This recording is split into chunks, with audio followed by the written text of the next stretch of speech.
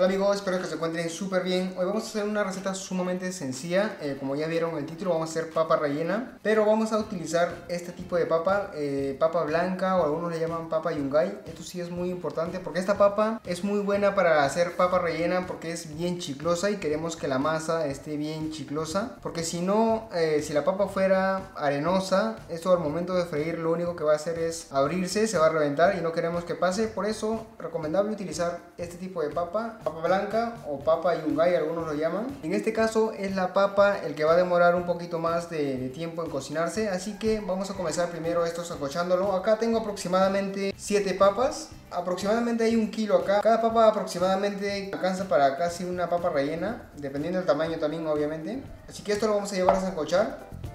Y por este lado tengo ya una cacerola una olla con agua. Vamos a poner todas nuestras papas para que se puedan sancochar. Esto lo vamos a sancochar aproximadamente, va a tomar entre media hora. Y también para no, eh, para avanzar el tiempo vamos a ponerle tres unidades de huevo, esto que vamos a ponerle en el relleno de la papa rellena. Y un huevo vamos a poner para hacer una salsa, una tártara simple vamos a preparar con esta. El huevo lo vamos a cocinar solo entre 10 a 8 minutos, luego lo retiramos. Y por este lado tengo ya la carne molida. Esto lo compré ya eh, molido. Acá tengo aproximadamente medio kilo de carne, de carne molida. Si gusta puedes comprar carne entero, lo puedes picar con el cuchillo.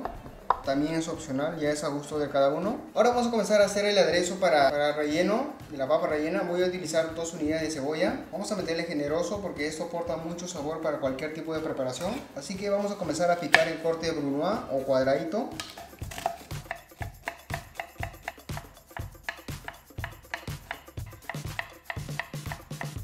También le vamos a poner perejil, acá tengo aproximadamente como 4 o 5 tallitos. Vamos a ponerle, vamos a retirar un poquito de tallo, esto lo botamos.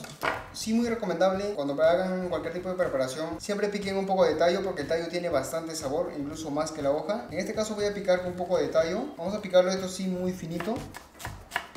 Esto le vamos a poner al relleno de la papa rellena. Y por este lado, en un sartén oscuro como la conciencia de tu ex, Vamos a preparar el aderezo. Le agregamos un poquito de aceite y vamos a comenzar a poner nuestra cebolla. Voy a ponerle también ajos en pasta o si tienes ajos picados o ajos en polvo también le puedes poner. Le voy a poner dos cucharadas. Le ponemos pimienta, esto sí es infaltable para cualquier tipo de comida. Le voy a poner comino solo casi un cuartito de una cucharada, esto sí es opcional.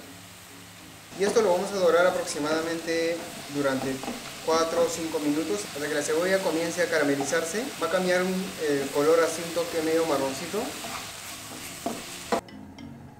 Ha pasado aproximadamente ya 2 minutos. Vamos a agregarle tomate en pasta. Puedes utilizar tomate eh, natural, picadito, cuadradito, también es válido. Le agrego aproximadamente una cucharada y media. También le voy a poner ají especial, la misma cantidad.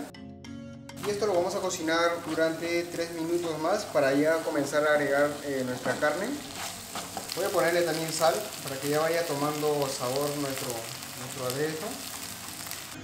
En este punto ya pasó 3 eh, minutos más dorándose el aderezo. Vamos a agregar nuestra carne. Aquí tenemos la carne molida. Lo vamos a mezclar muy bien. Porque si lo dejas así, la carne se va a formar eh, pequeñas bolitas, grumos para que no pase eso, vamos a estar comenzando a mezclarlo muy bien con el, con el aderezo. En este punto le voy a agregar también, aquí tengo estos son pasas, aproximadamente acá tiene como casi como 100 gramos. Vamos a ponerle para que también se vaya comenzando a hidratar. Esto de aquí es, eh, está congelado, es caldo, caldo de pollo o fondo de pollo. Si no tienes esto puedes utilizar agua incluso Siempre es bueno ponerle un poquito de líquido para hidratar muy bien la carne, para que te salga muy jugoso el, relleno. Esto lo vamos a cocinar aproximadamente durante 10 a 15 minutos, una cosa rápida. Pero siempre hay que cocinarlo a fuego medio, hay que estar moviendo constantemente para evitar que se pueda quemar. Una vez que la papa ya está completamente cocido, vamos a comenzar a retirarle un recipiente. Mientras la papa está completamente caliente, vamos a comenzar a pelar. No hay que dejar que se enfríe porque si no al momento de prensar va a ser muy complicado. Si está demasiado caliente te puedes apoyar con un trapo limpio, con la ayuda de una cucharita y vamos a comenzar a retirar la, piel. De hecho, sale sumamente fácil y muy sencillo.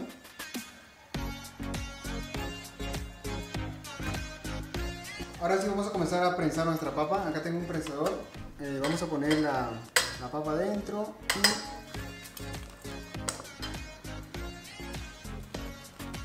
y este lo vamos a prensar dos veces para evitar que pueda pasar algún grumo, algún trocito de papa grande. Lo recomendable es pasarle dos veces, así que le vamos a hacer ese procedimiento.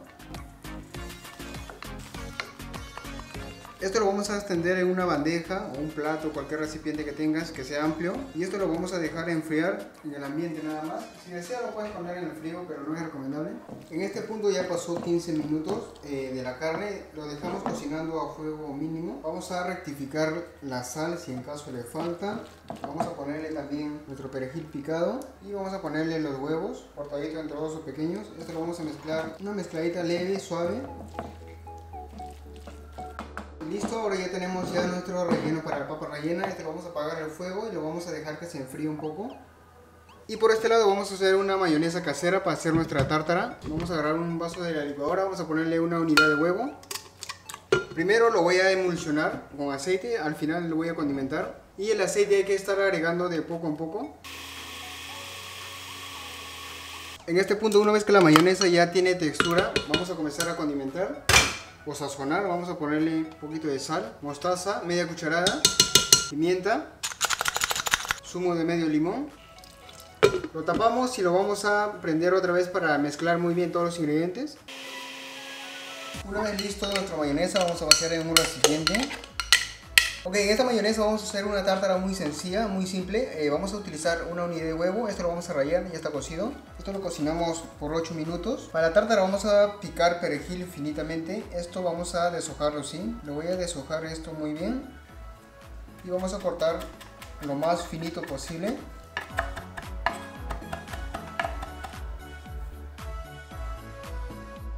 Lo que tenemos que hacer es mezclarlo muy bien voy a poner medio limoncito para darle un toquecito más de acidez. Listo, ya tenemos tártara para acompañar nuestra papa rellena. Esto lo vamos a dejar reservado en conservación. Ok, para acompañar también la papa rellena vamos a picar, eh, vamos a hacer salsa criolla, vamos a picar cebolla. Esto vamos a cortar en corte, corte pluma. Esto lo vamos a poner en un recipiente, lo vamos a dejar remojando 5 eh, minutos en agua. Esto es para quitar el amargor y luego lo vamos a enjuagar tres veces. También le vamos a poner culantro para la salsa criolla. vamos a cortar lo más finito posible. También le voy a poner ají limo. Si deseas le puedes poner ají amarillo. Esto solo voy a cortar un poquito.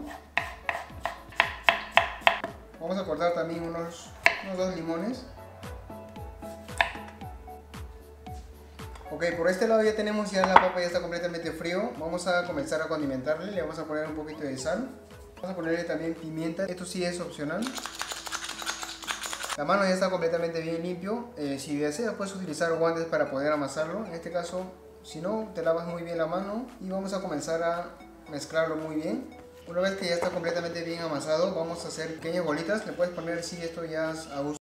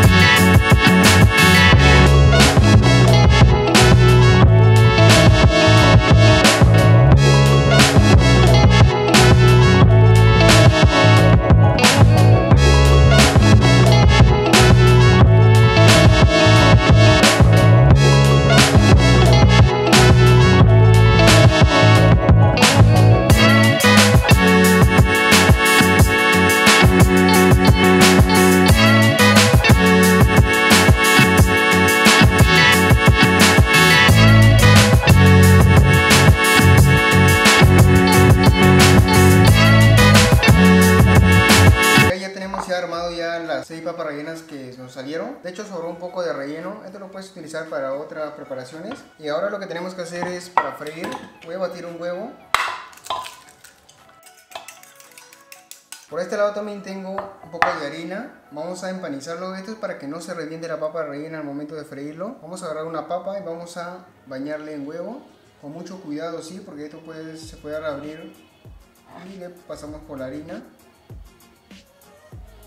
y vamos a hacer el mismo procedimiento para todas las papas rellenas más o menos se tiene que quedar así y esto lo vamos a llevar a freír y por este lado tengo un sartén con aceite, bastante aceite para freír, es fritura profunda. Yo lo calenté y ya está aproximadamente en temperatura, está entre 150 y 180 grados. Y vamos a comenzar a poner nuestra papa rellena con mucho cuidado.